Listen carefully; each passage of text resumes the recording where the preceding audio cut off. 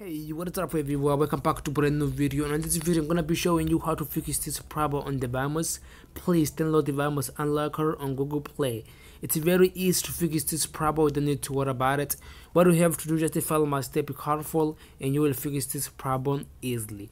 So let's get started. But before we get started, I wanna ask you if you are not subscribed to my channel, please subscribe to my channel, activate the notification to get notified about new video and let's get started. Started. So as i just said i'm gonna be showing you step by step how you can fix this problem on the VMOS. Uh, this version of the VMOS it is a 1.0.63 right over here the link will be available on the description of this video in case you want to use this application as well. This is the old version of the VMOS pro so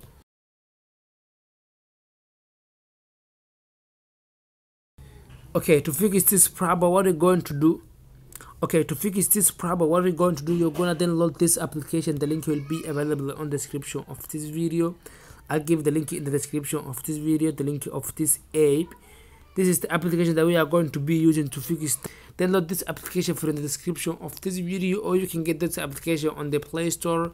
Install on your android device. You don't need to worry about it. The application it doesn't have a virus. It is 100 percent safe so install on your android device open it up. The application is only going to be just like this.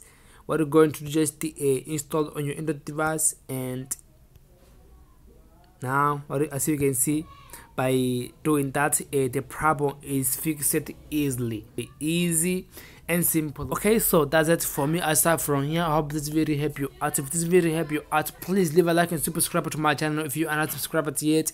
Activate the notification to get notified about new video. And i'll see you guys. On the next one. Peace out